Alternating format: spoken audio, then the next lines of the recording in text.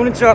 東京新地図本卓家です、えー本日も YouTube をご覧いただきましてありがとうございます、えーこの後ろを走るのはカンパチ通り環状8号線です、えー以前もですねここと同じ場所からお届けしたことがあります、え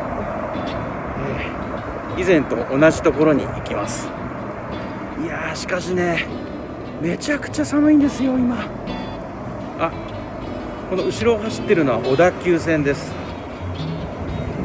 ここ千歳船橋の駅に近い場所にありますがめちゃくちゃ寒い。今日本列島を強烈な寒波が襲ってましてね全国中めちゃくちゃ寒いんですが、この東京も今気温4度です。4度。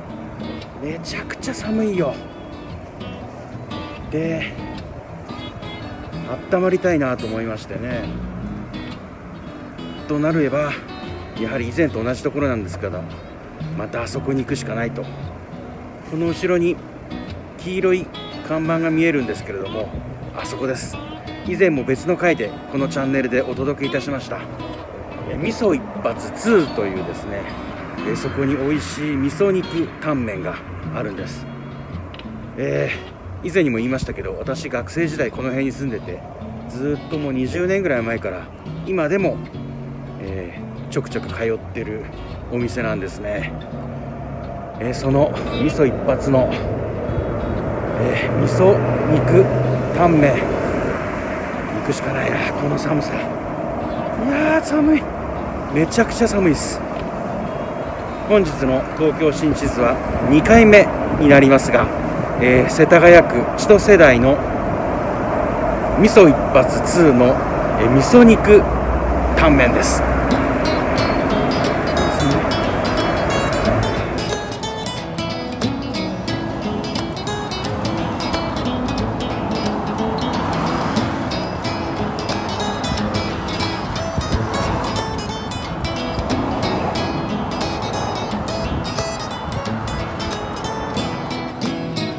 久々の味噌一発さんですね。いやー風がさものすごい強くてさめちゃくちゃ寒いのでこの名物味噌肉タンメンで温まりたいと思います。うん寒い。外はとっても寒い日だったんですがやはり店内に来るとビールを頼んでしまう、えーこの味噌タンメンの麺の硬さスープの濃さ野菜の量なんかを選べます。ビールを飲みながらその出来上がりを待ちます。これがまた至福なんだよな。とってもビールがうまい。うん。たまらんね。さあ次は私の番。私のタンメンが調理されています。麺が茹で上がりました。まずは丼に放り込みます。そこに熱々の味噌スープと野菜が注がれていきます。あーこれは熱々だぞ。うまそうだ。これをこれから食すわけですね。楽しみだ。やってきました。味噌肉タンメンです。大好物。この20年ずっと食べていたタンメンです。あー美味しそう。ビールが一緒ってのもまた最高だよね。この濃厚の味噌スープの中から黄色い太麺を引っ張り上げるんです。さあやってきました。しっかりとした濃いめの味噌スープに浸されたこの太麺。これを一気に食らいつきます。最高のひとときです。いただきます。うん。やっぱこれは太麺だからいいんだよな。うまい。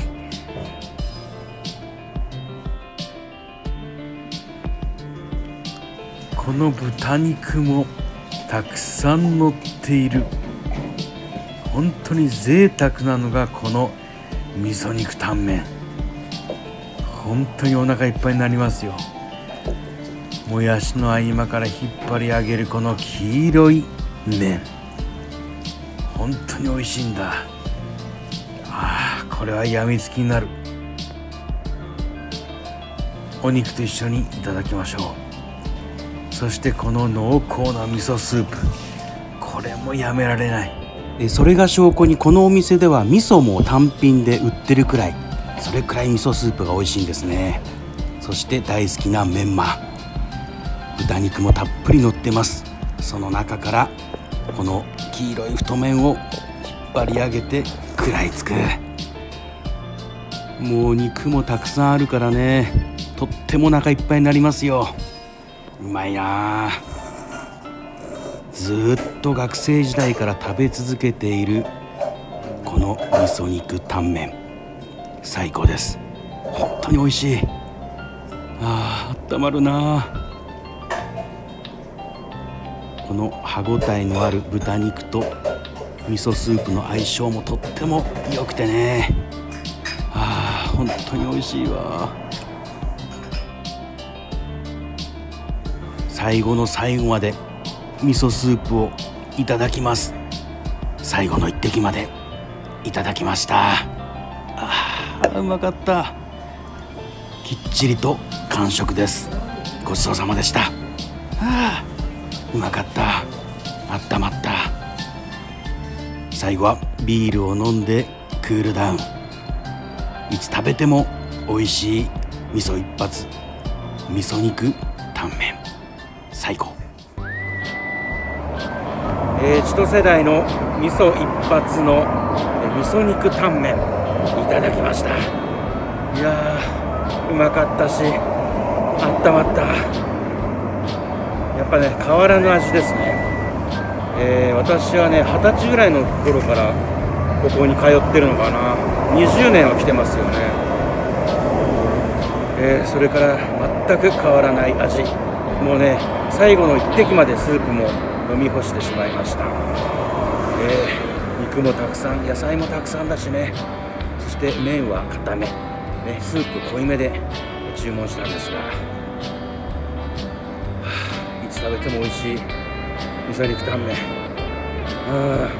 今後も通い続けるであろうお店ですね。とっても美味しかった。あったまった。ぜひぜひこの、ね、千歳船橋界隈に来た際にはねぜひお試しください。カンパチ通り沿いなんでね。こちらがカンパチ通りです。ね。いやこんな寒い日はねこの熱々の味噌肉タンメンに限りますよ。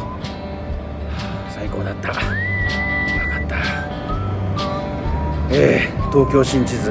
また次回どんな街を訪れるか。まあ今日はそんなに街歩きはしてませんけどね。でも、えー、今回2回目。この東京新地図では2回目のご紹介でございました。が、え味噌一発の味噌肉タンメンでございました。また次回をお楽しみにしてください、え東京新地図お相手はコンタッケでした。本日もご視聴いただきましてありがとうございました。ああ楽しかった。